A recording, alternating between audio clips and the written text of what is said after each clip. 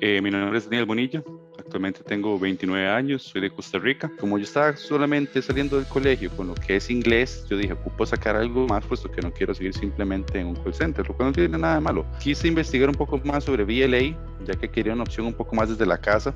Así que me fui por la parte de Linux con VLA eh, luego de eso saqué ciberseguridad y también saqué Amazon Web Services y Azure. Yo puedo dar testimonio propio de que un segundo idioma y un técnico le abre las oportunidades a una persona hace que un nivel de un ingeniero. Eh, actualmente estoy trabajando como Linux sysadmin de Red Hat y también de Windows Server en DXC Technology. Ya tengo cuatro meses de estar trabajando ahí